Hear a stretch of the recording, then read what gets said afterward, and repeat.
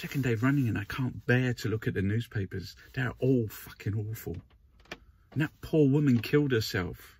Look at the state of this country with the austerity, Brexit, society, the spectacle, the circus, the clowns, the Tory government, its media, eugenics. That's what they're on about now. Sterilise the poor. Jesus Christ, look at the mess.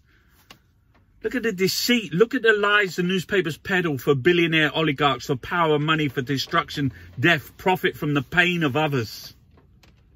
They watched her die. But this world, look around you, it's so beautiful. Even the storm. I love the storm. I love the nature. I love the struggle of life to hold on to what we love the most.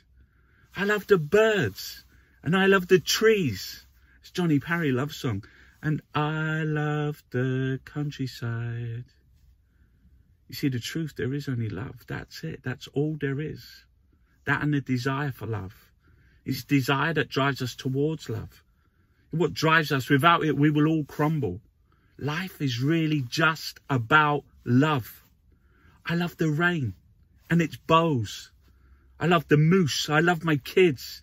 And I love the sky. I love my watercolor box. I love honey on toast. I love the bumblebees. I love spaghetti and picking strawberries and apples. And I love the moon and I love swimming in the river. I love the smell of oranges and I love to pull lavender buds from a neighbour's garden, put them in my hand, rub it.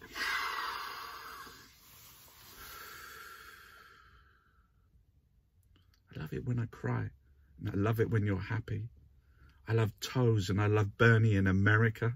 I love black cats and foxes and badgers. I love the Bethlehem. I love my mental health. I love running. I love art, the internet, the snow Peckham. I love my jeans, my Jordans and my shadow. And I love my ghost. And I love you. I do.